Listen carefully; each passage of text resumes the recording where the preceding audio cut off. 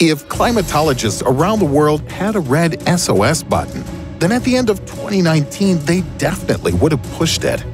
Previously considered to be stable, the Vavilov ice cap on the deserted Russian archipelago of Severnaya Zemlya suddenly began to slide rapidly into the sea. It's hard to believe, but between 2013 and 2019, the glacier lost 9.5 billion tons of ice, which is 11% of its original mass. What are scientists afraid of? Is climate chaos awaiting us? And how do other glaciers on the planet behave? Today, Ridddle is expected to freeze. Better go get your hat and mittens. There were no signs of trouble. For a long time, the Arctic remained a relatively stable region. Its glaciers lying above sea level were hardly affected by warm seawater. But by 2015, the speed of the Vavilov ice cap's movement increased from 5 centimeters or 2 inches per day up to 30 centimeters or 1 foot. Over the course of a year, the glacier traveled 4 kilometers or 2.5 miles and lost so much ice that it would be enough to cover the entire state of Washington with a thin layer of water. Now, the Sprinter has accelerated to 5 to 10 meters or 16 to 33 feet per day. The reason for the glacier's accelerated rate of melting was its movement to less stable bottom sediments. After the lower part of the ice cap became wet, the water from melting ice served as a kind of lubricant, and the glacier began to pick up speed. A warm 2012 might also have affected the glacier's rate of melting. Scientists have no doubt, for the first time they're seeing the birth of a unique natural phenomenon, an ice stream. And it all began with just typical glacier surge. Whether this phenomenon occurs in the life of a glacier only once or regularly, it doesn't represent any danger, nor does it depend on the climate. Like a living organism, the glacier seeks to free itself from stress, cracks with a roar, frees itself from tons of ice, and then it recovers and overgrows with a new layer of ice. A sharp but short-term increase in the speed of movement of the ice mass occurs, but not this time. In the case of the Vavilov ice cap, it is neither stopped nor slowed down. Today, its speed is about 5 kilometers or 3 miles per year, and this process doesn't appear to be reversible. Satellite images clearly show the entire western wing of the Vavilov ice cap has entered the ocean. If only one glacier rapidly melted, you could sleep soundly. But no, someone or something has given a death sentence to the massive ice cover of planet Earth, and the executioner's name is global warming.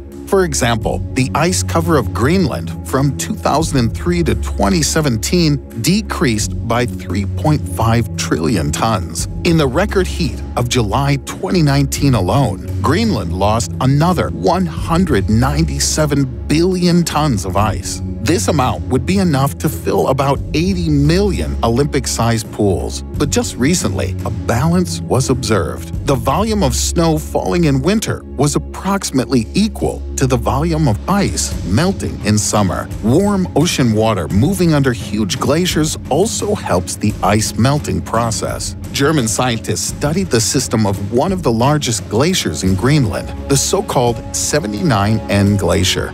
Under one of its sections, they found a hollow space about 2 kilometers or 1.2 miles wide with a ledge, along the bottom of which warm water from the Atlantic flows directly to the glacier. This is a kind of barrier. After overcoming it, the water accelerates. Thus, the base of the glacier is subjected to increased underwater impact and the melting process gains speed. The hollow itself is growing. Over the past few years, its depth has increased by 15 meters or 49 feet. The same situation is observed at the base of the glacier Zachariae Isstrøm. Perhaps to blame is the shape of the seabed along all of Greenland. However, scientists have yet to verify this claim. Alaska is also melting. Over the past 50 years, the largest U.S. state has warmed up to 2 degrees Celsius or 4 degrees Fahrenheit. And that's a lot, because throughout the rest of the planet, the temperature rose by only 1 degree Celsius or 2 degrees Fahrenheit. For a long time, the Taku Glacier in the Juneau ice field remained one of the few that stood firm against the effects of global warming. Taku is 1,480 meters, or 4,855 feet thick,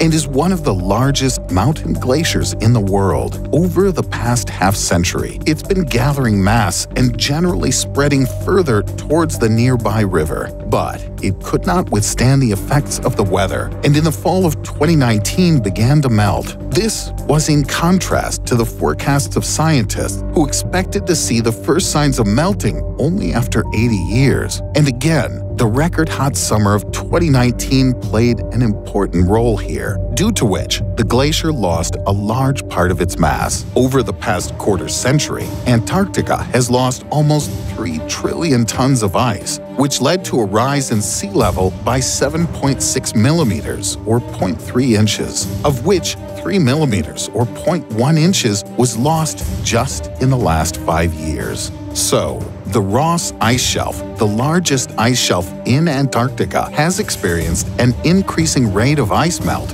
due to the warm surface waters of the ocean heated by the sun. Its area is comparable in size to France and amounts to 487,000 square kilometers or 188,000 square miles. Researchers from New Zealand studied the interaction of the glacier with the ocean for four years and issued a disappointing verdict the glacier's melting faster than previously thought. It turned out that next to the glacier is the so-called Ross Sea Polynya, which warms up quickly in the summer and accelerates the melting. Scientists even managed to record the drift of the melting glacier. Can you hear it?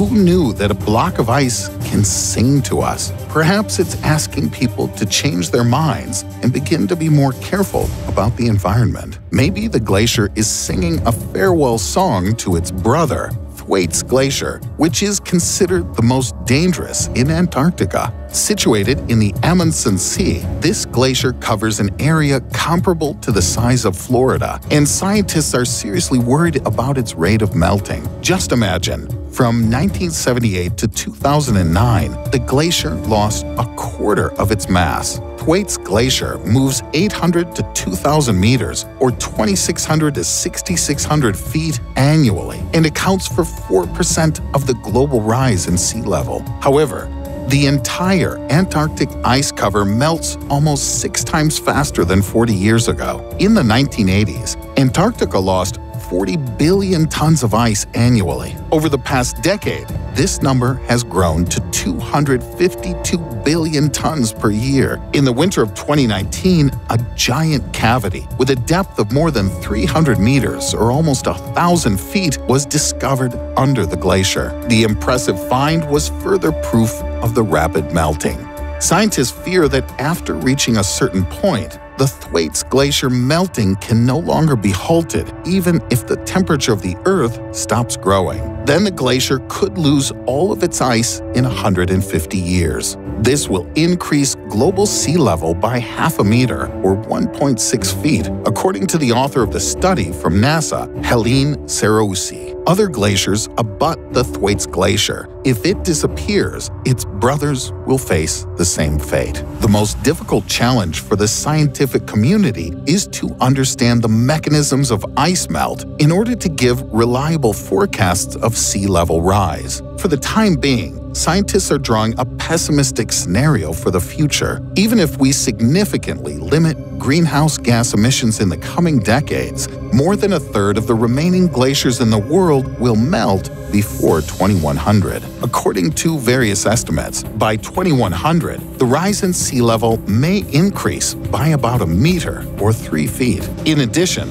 The melting of ice in a scenario with a temperature increase of 3 to 4 degrees Celsius or 5 to 7 degrees Fahrenheit compared to the middle of the 19th century will lead to an increase in the number of natural disasters and force people to leave the equatorial regions. With the melting of sea ice, many animals in the far north will lose their home and fishing in coastal areas will suffer billions in losses due to the fact that fish will cease to spawn. It's a given that glaciers melt, and it's unlikely that this process can be reversed. But each of us can help the planet and contribute to the fight against global warming. You can reduce or eliminate your use of cars or use a bicycle or scooter at least once a week. You can hang your laundry out to dry on a clothesline rather than using an electric dryer and unplug electrical appliances that you don't use. You can sort your garbage for recycling. All this will help reduce CO2 emissions and slow down